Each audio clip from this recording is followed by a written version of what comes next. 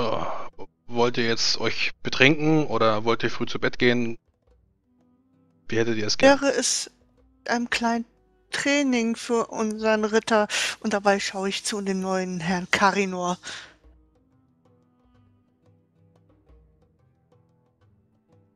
Brauche kein Training, ich trainiere seit 20 Jahren. Mit welcher Waffe wollt ihr denn ziehen? Euer anderthalb Händer ist doch zerstört, oder nicht? Und ich habe noch einen ganz hervorragenden Streitkolben. Ebenso habe ich noch einen Nachtwind aus Maraskan. Aber es ist eher ein kleines Messerchen als alles andere.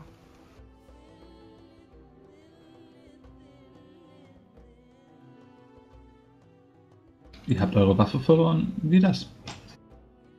Im Hals eines Karakels. Aber warum erzählt Romilly nicht die Geschichte? Schließlich hat sie sich dort ordentlich mit Ruhm bekleckert.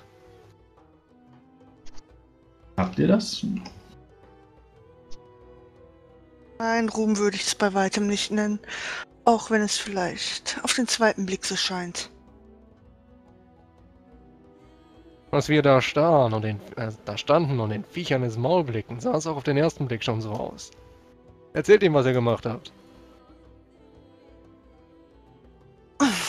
Nun, ich habe einen der Karakile dazu gebracht, seinen Artgenoss zu zerfleischen. Wie habt ihr das fertiggebracht? Ich bin auf seinen Rücken gestiegen, habe seinen Reiter abgeworfen und, und ja, mir eingeredet, es sei ein ganz gewöhnliches Tier, das man abrichten kann. Ha! Rommel sieht Also, gerade selber so nicht. aus. Muss bekloppt sein. Für die Geschichte würde man euch in jeder Hafentaverne rauswerfen. Aber sie ist wahr. Wir waren schließlich dabei. Ah, erstaunlich. Ich habe selbst noch nie einen Karakil gesehen, doch ich hörte, sie sind also groß wie Perldrachen. Ich habe auch schon einen Perldrachen gesehen, aber Größe mag hinkommen, aber es ist kein Vergleich, sie nebeneinander zu sehen. Und der Klang. Aber nun gut, wir sind nicht hier, um über die Schrecken der blutigen See zu reden. Wir werden wir bald wieder genug Zeit haben.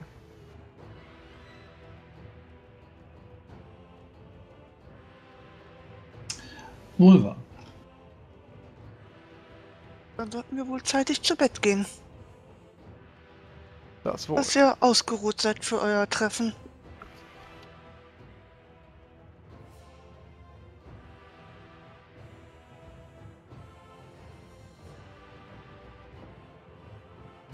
Hat sonst noch jemand was vor, oder?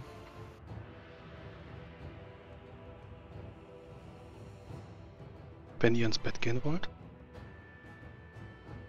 Achmad sah übrigens während dieses ganzen Gesprächs sehr konzentriert aus. Er konnte dem Gespräch wohl nicht wirklich folgen. Und dann äh, nickt er einfach nur, als ihr zu Bett gehen sagt und dann sagt er auch Bett. Bett. Ähm, ähm, Haus, äh, Gasthaus. Ihr könnt hier nächtigen. Wir haben noch einen oder anderen Platz frei. Ah, danke. Ich werde wohl das Hotel noch für eine weitere Nacht beanspruchen. Ich dachte, ihr nächtigt bei der Frau Händlerin. Oh nein, ich äh, wollte Ihre Gastfreundschaft nicht zu sehr beanspruchen.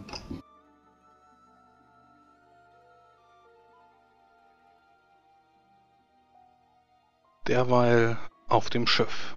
Ephadaios sinkt gerade keuchend zurück auf die Planken seines neu ausgehobenen, ja, Treppenhauses. Wartenberg hat wohl gerade das Bewusstsein verloren, jetzt nachdem das Adrenalin aus seinem Körper gewichen ist und das Bein blutet langsam aus. Du meinst äh, Hasswolf? Hasswolf, Entschuldigung, habe ich Wartenberg gesagt? Ja. Äh, ich beginne zu schreien. Hilfe! Ein Arzt! Hilfe! Und ähm, ich, ich äh, schließe Hasswolf in meine Arme und bekomme dann diesen, diesen Schock. Ah! Und weiche von ihm zurück. Wo bleiben die Sanitäter?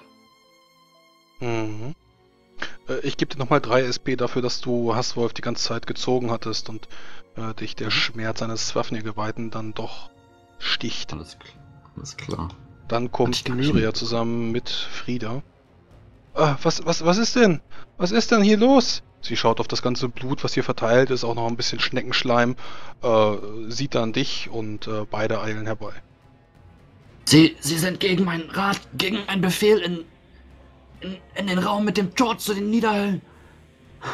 Was? Die Inquisitorin. Was ist Sie- hier los? Sanitäter! Er, er blutet aus. Wo bleibt ihr?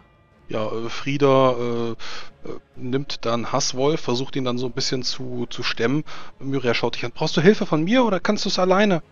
Du blutest aus Nase und, und den Ohren. Was ist passiert? Ich bin unverletzt. Schafft ihn. Wir müssen ihn runterschaffen. Ja, sie, sie schaut so an dir runter, sieht, dass wohl deine Rüstung, die weiße Iffenhaut-Rüstung, ähm, in, in der Mitte sapschst du so ein bisschen, so ungefähr auf Höhe des Bauchnabels. Seid ihr sicher, dass ihr, dass ihr nicht verletzt seid? Ich, ich greife mir mit der, also in einer Hand habe ich das, äh, das Schwert, in der anderen greife ich dann zu meinem Bauch. Äh, mehr um äh, de, diesen Fleck äh, zuzuhalten, beziehungsweise so zu tun, als hätte ich eine, eine Magenwunde. Ah, scha schafft ihn auf die Krankenstation. Ich, ich hole dir Ich- Heiler. Komm, komm, Frieda. Los. Beide mit äh, Hasswolf auf den äh, Schultern, eine links, eine rechts, in Richtung Krankenstation. Ich blicke noch einmal zur, zur zugewachsenen Tür zu dem Raum der Niederhöllen und denke an den Pfeil des Lichts, der sich noch dort dahinter befindet. Oder befand.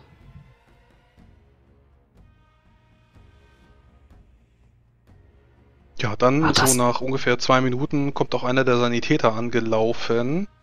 Äh, mein Herr, was, was kann ich für euch tun? Ich habe von den, von den beiden Knappen gehört, dass ihr verletzt seid. Wo sind Es die ist anderen? nichts, nur. Das wischt sich ein bisschen Blut von der Nase weg. Wie, wie steht es um Hasswolf? Ihr, ihr habt eine, eine Bauchverletzung. Das, das muss sich jemand ansehen. Kommt, kommt mit auf die sich auf.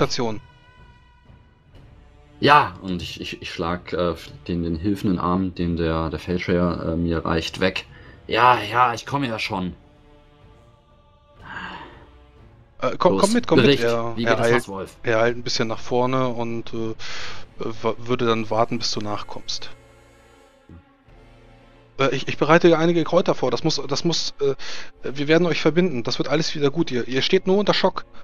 Ähm, wir, wir müssen eure, eure Lederrüstung aufschneiden. Kommt schon, kommt schon.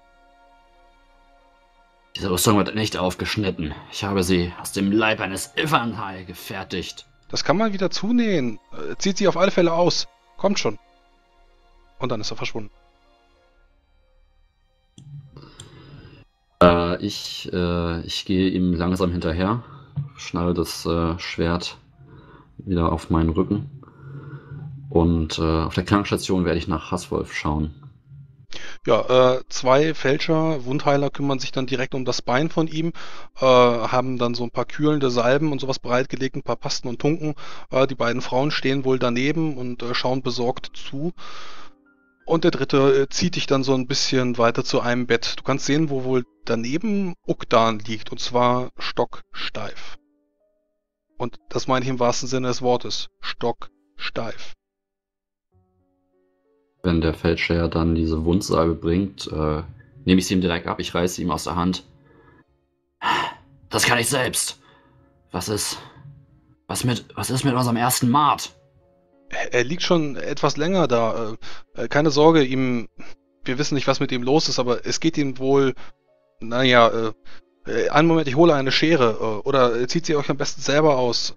Soll ich euch helfen mit den, mit den Verzurrungen hinten? Das war ein Befehl. Ich schaffe das selber. Nun, wie könnt ihr sagen, dass, ihr es, dass es ihm gut geht, wenn ihr nicht wisst, was er hat? Es ist irgendetwas Magisches. Etwas mag. Oh, Wir haben dem Pfeil des Lichts gesagt, dass äh, er, er wollte sich wohl darum kümmern. der. Der Pfeil. Er wird sich darum kümmern. Geht hoch auf die Offiziersbrücke, ruft nach Magistra Kohlrab. Sagt, ich erbitte Ihre Anwesenheit. Sie wird auf der Krankenstation benötigt. Ähm, äh, ja, ja, äh, er drückt dir die Paste nochmal in die Hand. Äh, auch die Schere. Äh, wenn, wenn ich euch helfen soll, dann, dann ruft noch einmal. Und läuft dann los. Ich, äh, ich stelle die Salbe auf einen, einen, weiß nicht, Nachttisch oder so etwas. Mhm. Gehe rüber zu Ogdan und beuge mich über ihn. Lege meine Hand auf seine Schulter. Wo, wo bist du hin, mein Freund? Er ist kalt. Hab ich das Gefühl, dass er überhaupt noch lebt? Was möchtest du denn tun? Ähm, ich, ich schaue mir sein Gesicht an. Also ich weiß, es sind seine Augen geöffnet. Die sind geschlossen, aber wenn du die Augen aufmachst, kannst du dahinter wohl Holzstückchen sehen, die sich in seinem Auge bewegen. Ich, ich äh, stecke den Finger an den Mund und halte sie dann unter seine Nase, um dort auch nur den kleinsten Atemzug zu vernehmen. Mhm. Zumindest trocknet dein Finger.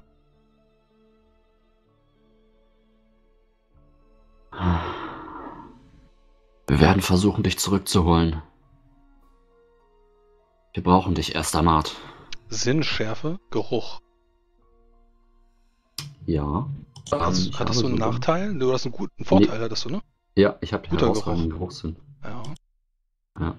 Ähm, deswegen fragte ich. hast du eine, eine Erschwernis genannt? Nee, würfel mal ohne Erschwernis. Okay, also durch äh, herausragenden Geruchssinn ist um 5 erleichtert. Ja, gut.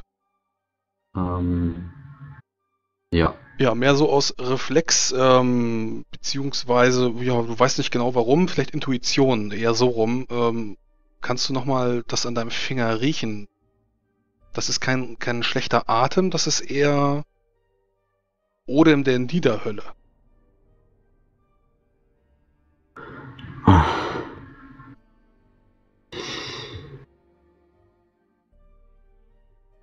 Ja, äh, Ephraim denkt sich, ah, darum muss ich mich später kümmern. Ich habe dafür keine Zeit. Alles läuft schief. Alles läuft schief. Warum hört denn keiner auf mich? Und äh, dann blicke ich rüber zu Hasswolf und wie. Hasswolf hatte ein bereits amputiertes Bein, oder? Ja. Ich meine, also ich meinte vorher schon. Was, was ist jetzt mit dem Achso, Hasswolf? Nee, nee, nee, Hass, Hasswolf, äh, der, äh, dem fehlt jetzt gerade ein Bein. Also es war kein, kein Humpeln da oder so. Okay.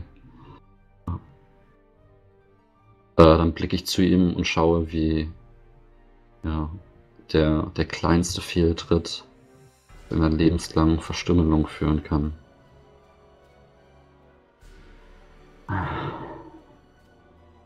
Ja, mein. Prinz, das müsste so gar nicht passieren. Man hätte sie auch kontrollieren können. Oder sie einfach zurückschicken in das Loch, aus dem sie kam. Aber du wolltest unabhängig bleiben. Eine freie Entscheidung. Und jetzt? Jetzt schauen sie wohl nach deiner Wunde, die du in deinem Bauch trägst. Das könnte sehr unangenehm werden. Aber was kümmert mich das? Deine Seele gehört so oder so mir.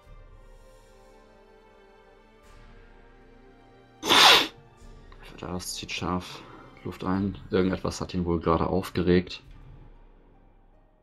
Myria, ich bin auf dem Offiziersdeck. Äh, ja, äh, okay. Ich greife noch die Schale mit dieser Heilsalbe und äh, mache einen Abstecher zur Küche, wo ich mir irgendwie einen scharfen Alkohol besorge. Äh, ein Bier. Ein Bier. Ähm, und verziehe mich dann nach oben. Mhm. Auf dem Weg dahin wirst du von Elysia aufgesucht. Das ist eine dieser beiden Frauen, die Romilly mitgebracht hat. Ephadaios, wir müssen uns unterhalten. Wie dringend ist es? Ich, ich habe gerade zwei, zwei Gefährten verloren und ein Freund liegt auf der Krankenstation, ein weiterer. Ist es dringend? Nun ja, ich dachte, ich nutze die Zeit, solange Romilly nicht hier ist. Um mit mir zu reden? Um mit Oder euch zu habt ihr reden. etwas? dachte mir, mit euch kann man etwas besser reden als mit den anderen. Eure Wunde dort sieht wohl etwas äh, schlimmer aus. Nun, äh, kommt doch einmal mit. Sie legt dir äh, sehr behutsam den Arm auf die Schulter und zieht dich dann äh, von dem einen Treppenhaus so ein bisschen auf das Oberdeck. Nicht so sehr äh, in Richtung des ersten Stocks, äh, wo dann irgendwann Kohlrapp auf dich zukommen könnte, sondern erstmal raus in Richtung frische Luft. Also, Hm. Dieses Mal, was ihr dort tragt, diese äh, sapschige Wunde, das könnte jetzt sehr unangenehm werden, wenn die anderen das herausfinden. Aber ich werde euch nicht verraten. Aber ich wurde verraten und darum möchte ich mit euch sprechen. Nun, es ist nun äh, offensichtlich äh, bekannt, dass Romilly eine Hexe ist und damit wurde auch unsere Identität aufgedeckt. Und das ist doch etwas, was ich gar nicht toleriere. Wir sollten uns also etwas überlegen für die kleine Hexe. Wie meint ihr das? Also, wenn es nach mir geht, könnt ihr auf dem Schiff bleiben, wenn ihr für die gleiche Sache kämpft. Aber was meint ihr mit der kleinen Hexe? Romley oder wer? Richtig. Ich helfe euch jetzt mit eurer Verwundung, die doch wohl etwas schwerwiegender aussieht. Und dafür helft ihr mir, wenn ich euch brauche und es um Chalvins Thron geht. Ich äh, trete einen Schritt von ihr zurück. Wollt ihr mich erpressen? Nun, wenn die Magier und die überlebenden Geweihten etwas von eurer Pakt, von einem Pakt mal erfahren, dann vermute ich, werdet ihr ganz, ganz schnell brennen. Für den Eingeweihten sollte es Tja. doch recht offensichtlich sein, oder? Ich habe gehört, dass Hexen sich mit dem Brennen auskennen. Aber glaubt mir, ich hasse das Feuer genauso wie ihr. Dann sollten wir uns jetzt etwas ruhigeres suchen und uns gemeinsam unterhalten. Lange habt ihr nicht. Geradeaus wird sie dann, wird sich vermutlich zu, zu Romillys und äh, deren äh, Elysias Gemächern begleiten. Nee, nee, nee, nee, da will sie nicht hin. Da sitzt nämlich Aldara und sie möchte das gerne unter vier Augen mit dir besprechen. Okay. Okay. Zurück Äh, in Kuncho. Ja, zurück in Kunchom. Ja, ihr habt die Nacht über geschlafen, 22. Zar, Ich möchte gern früh aufstehen. früh Sehr aufstehen. früh. Richtig früh. Ich möchte nämlich Ja. erst in den Rundra-Tempel. Ähm, ich vermute, es werden alle Helden mit dabei sein. Habt euch dann wieder abgesprochen, dass dann auch der Rondrianer und auch äh, der neue See Fenrich dabei sein darf? Bestimmt, oder? Natürlich. Natürlich. Die Söldner kommen auch mit. Gut. Ja, dann Und kannst Lupti, du kommt zum... Lupti kommt mit. Die kommen mit. Der Rondra-Tempel. Ich guck gerade, wo der ist. Wo ist denn der Rondra-Tempel? Ähm, was müsste die Halle des Feuersturms sein, wenn ich mich nicht irre? Feuersturmtempel, irgendwas in der Ach so, Richtung. richtig, genau. Mit, äh, mit dem Ingrim-Tempel beisammen. Ja, ich habe da gleich zwei Dinge zu erledigen. Okay, ja, dann äh, wirst du dort ähm, verschiedene Geweihte antreffen, die dann entweder hämmern mit Schwertern oder trainieren mit Schwertern. Ich nehme Verbandszeug mit, man weiß nie, wann man es braucht. Ich möchte dann auf. Äh, nicht unbedingt den Erstbesten, also wenn der Tempelvorsteher gerade so aussieht, als hätte nichts zu tun, durchaus schon zu dem gehen. Ansonsten ein anderer Geweihter. Ja, äh, vor dir dann eine sehr junge Geweihte, Talion Melrondralob, ähm, äh, wohl gerade aus ihrer Alkolutenzeit, äh, kommt dann auf dich zu. Euer Gnaden. Äh, ja, was kann ich für euch tun, äh, hoher Herr? Ich werde beim ersten Sonnenaufgang einen Zweikampf ausfechten und ich bin hier, um mir vorher äh, äh, bei Rondra um ihre Gunst zu bitten. Ich hatte gehofft, ihr könntet mich vorher einsegnen. Äh, Sie schaut so ein bisschen an deiner Schulter vorbei, lehnt sich dann so ein bisschen rüber und äh, blickt dann da auch Ahmad. Ja, das kann ich für euch tun, wenn ihr mögt. Nun, äh, mein Begleiter wird über den guten Ausgang des Duells wachen. Ich fühle mich etwas unehrlich, ihn gleichzeitig zu bitten, äh, für meinen Erfolg zu beten. Ähm, also gut.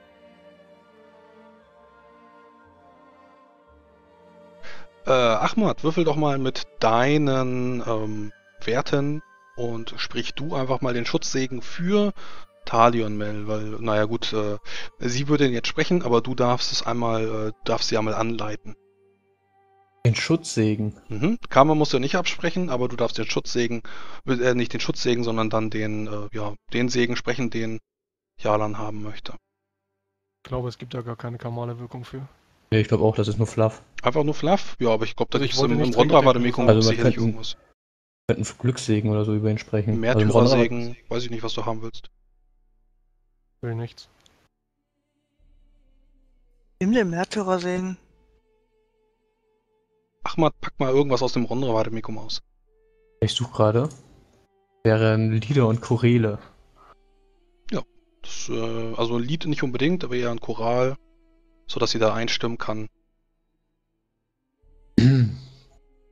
Heil dir, Rondra, Himmelsleuen, wie du gleißend gleich dem Feuer, wie die Liebe heiß und teuer, flammend deinen Wagen längst. Heil dir, Rondra, Himmelsflamme, deren Blut von Sumus stamme, nie gezähmt von Gott noch Manne, allen Kriegern Glauben schenkst. Heil dir, Rondra, Himmelshammer, nie verschlossen deine Kammer, wenn am Tore pocht die Ramme, in der Luft der Schlachtruf hängt. Heil dir, Rondra, Himmelsklinge, der allein zum Ruhm ich singe. Decke den mit deiner Schwinge, der dir zu Ehr sein Banner schwenkt. Uns fehlt der letzte Hieb. Und fehlt der letzte Hieb. Mich nicht, Herrin Rondra, Himmelslicht. Halt mir nicht zu streng Gericht, wenn du meine Fahne senkst. Ja, und währenddessen würde Ahmad wahrscheinlich da äh, rituell seinen Vakif rausholen, erst sich selbst einmal da den Daumen aufschneiden in irgend so dafür vorgesehenes rituelles äh, äh, Opferschale da sein Blut fließen lassen, dann äh, auch nochmal hier äh, Jalan ranbeten und ihm auch nochmal äh, in den Daumen schneiden und da auch ein wenig Blut in die Opferschale tröpfeln lassen. Beziehungsweise würde der dann da die Akoluten dazu anleiten, das zu machen.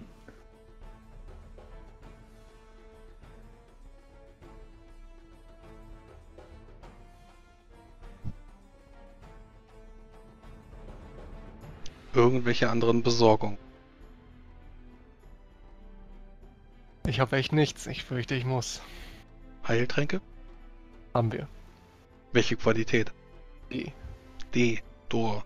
Ja, komm, gehen wir und holen einen Eheheiltrank. Wir haben das gerade, ja. Gleich wird, F. die Drachenei wird da hoffentlich was zur Verfügung stellen. Ja, das ist natürlich teuer. Du kannst dir dann mal äh, 150% dieses Preises für einen E-Heiltrank raussuchen, wegen der Alchemie, äh, abhängig von den äh, Lebenspunkten. Ähm, ja, du weißt ja selber, wie viele Lebenspunkte du hast. Der E-Trank äh, E-Trank heilt dann ja, ich glaube, alles. Der E-Trank heißt halt alles, ja. Genau, so, das heißt Lebenspunkte von 0 auf voll. Ich mal 2 Dukaten, mal, Mal 1,5 150, sind aber genau. 105 Dukaten. Gut, Alter. 105 Dukaten für diesen Kampf. Ja, äh, ob ihr den dann bei der Dracheneieralchemie kauft, ähm, wird man euch äh, ja, äh, zunicken, bedanken. Ihr dürft gerne wiederkommen. Und wenn Kasim noch da ist, sagt man kurz Hallo und dann geht's weiter. Kasim wirst du nicht finden. Der ist in seine Studien vertieft. Okay. Nun gut, wenn auch jemand irgendwas zu sagen hat, jetzt der Moment. Ahmad nickt dir einfach nur stumm und grimmig zu. Dann mutig voran. Und schreite ich durch das hoffentlich geöffnete Stadttor. Sei Boron mit euch. Vorbei am Marktplatz, am Tempel der geschenkten Freude, hier wo Rodrigo und Wascha sich die Treue geschworen haben. Am Sklavenmarkt vorbei, da wo die Zeltstadt der Gaukler sind, zum Anchopaler Tor. Die Stadtwachen haben sich hier versammelt, ähm, wirklich kontrolliert wird hier gerade nicht. Du kannst wohl hören, wie sie flüstern, denn Blutschluck ist bekannt. Sie flüstern seinen Namen, trauen sie ihn, trauen sich nicht, ihn laut auszusprechen. Und du kannst dort sehen, wie Blutschluck auf einem kleinen Feld steht, hinter ihm ein gerüsteter Ritter des immerwährenden Kampfes, die hast du eben gerade erst gesehen. Chorsöldner, die normalerweise vor dem, ja, vor der Magierakademie Wache stehen. Blutschluck hat dabei mehrere Waffen. Ein ganzes Arsenal. Aber wenn du dann kommst, wird er sich sein Chorspieß schnappen. Denn du sollst mit der Waffe von Chor gerichtet werden. Totschlag! Bin hier, um eure Herausforderung anzunehmen. Regel Nummer 8. Stirb, anstatt dich zu ergeben. Das hier Bis- wird ordentlich vor Rondras Auge vonstatten gehen. Wir sind schließlich Ehrenmänner. Zumindest einer von uns. Ich kämpfe ehrenhaft. Zum Das dritten gut, Blut aber- also. Ich denke nicht, dass es angemessen wäre, vor Rondras Auge zu kämpfen. Für das dritte Blut, für eine Beleidigung. Ich denke, angemessen wäre hierfür maximal das zweite Blut. Das Und ich denke, sowas- Blut. So etwas solltet ihr auch wissen. Bisfrabul. Diener des Bruder des, Bruder des Blutes. Also gut. Würfel mal eine Überredenprobe. Überreden. Oh Sie Gott. ist erschwert um drei Punkte. Für die fremde Kultur. Weil ihm die Kulturkunde Blutschluck fehlt. Chippy! Chippy! Mit Talentwert von 1. Solide, oder? Ja, überreden ist halt mir Aber hast gute, hast gute Attribute, also. Die 15 neu. Wollte gerade sagen, ist, 15 ist, ja, ist ja nur die. Äh... Ah, Moment. Warte 15, sonst nichts. Stimmt. Nee, nee, so, ähm, wegen der Erschwernis hat er doch minus 2. Das Ja, heißt, die Ja, Intuition hätte er auch die nicht. anderen beiden sind aber Es ist, nur die, es ist nur die Intuition. Ja, ich Mut- warte seine Mut Reaktion passt. ab. Ja, er schüttelt mit dem Kopf. Blutschluck. Ihr seid der Diener des Gottes der Schlacht, nicht des Duells. Ihr habt kein Recht zu entscheiden, bis zu welchem Blut dieses Duell gefochten wird. Ich kann es genauso wie der Duellant festlegen. Und das Nun. dritte Blut ist keine Beleidigung. Wenn es Nun, vorher es ist keine ausgehandelt Ehre wird. da drin. Es ist keine Ehre da drin, in einem Duell zu sterben. Es bringt weder euch etwas, in diesem Kampf zu sterben, noch bringt es Jalan etwas. Hier wird die Ehre verteidigt. Das ist kein Kampf auf Leben und Tod. Dann habe ich eine Alter- Lektion für dich, Jüngling.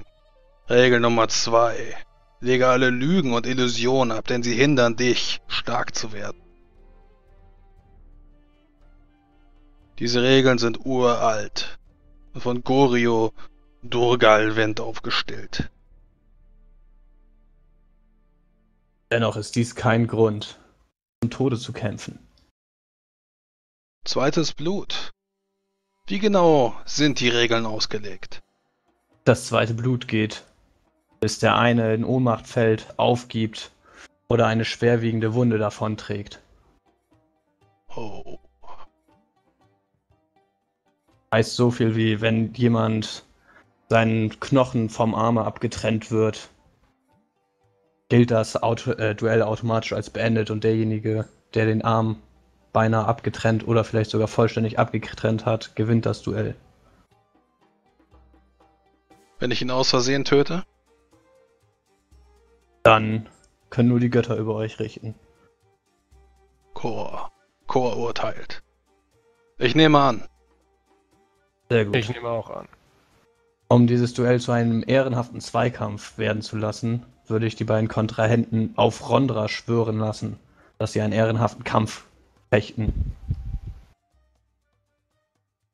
Sind die Kontrahenten damit einverstanden? Aber natürlich. Einverstanden. Sehr wohl.